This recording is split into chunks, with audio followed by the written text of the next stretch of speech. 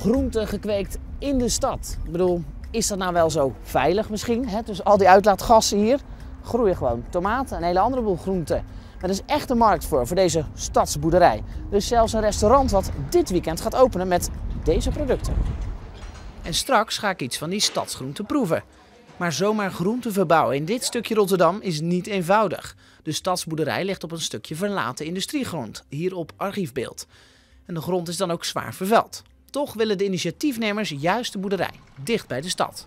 Is een soort van vibe lijkt het wel van dat mensen willen weten waar hun eten vandaan komt. Ze horen allemaal verhalen van dat er heel veel dioxine in kippen zit of dat, weet je, allemaal, dat er allemaal verkeerde spullen gebruikt worden. Mensen vinden het gewoon leuk om te weten waar hun eten vandaan komt, om daarmee bezig te zijn. Oké, dit eten komt dus uit de stad en niet uit Afrika of Spanje bijvoorbeeld.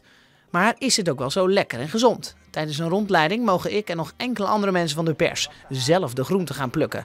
En later in een restaurant ook nog gaan bereiden en opeten. Maar Hubert, is het nou uh, ja, wel zo gezond? Ik bedoel, we zitten hier midden toch in de stad? Ja, ja nou, de grond die komt van buiten de stad. Uh, dus die hebben we, dat is gezonde grond van buiten de stad. Uh, eh, 50 centimeter ligt hier. Kijk, en we hebben Wageningen erbij gehaald en die hebben eh, uitgelegd dat planten in principe weten wat ze uit de grond moeten halen. Dus zelfs vervuilde grond is voor planten niet slecht. En ook uit de lucht, ze halen de CO2 eruit, daar groeien ze op. Maar als ik nou het is toch een beetje raar gegroeid lijkt mij als uh, slaatje. Hè? Zeker raar gegroeid. Heeft een tijdje uh, heeft wat langer gegroeid dan, dan nodig was. Beetje raar. Kijk, dat ziet er wel weer heel gezond uit. Nou, de rest wel. Zeker. En groeit hier dan ook van alles.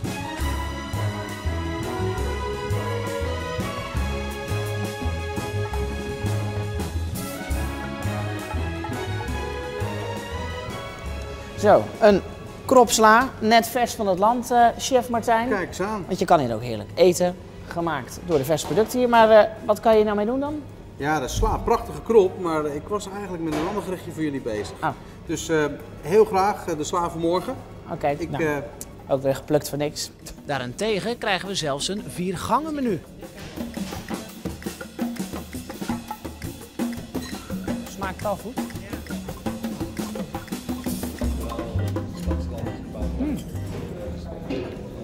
Best lekker. Lekker hè? Al met al uh, smaakt het allemaal best lekker. Zo uh, groente uit je eigen stad. Dus ik denk, ik neem maar gelijk 20 kilo mee. Weet je wel, iets van prei, tomaat. Ik heb van alles wat. Ga ik dat lekker thuis bereiden. Het ruikt dus ook echt niet naar uitlaatgassen. En het smaakt heerlijk.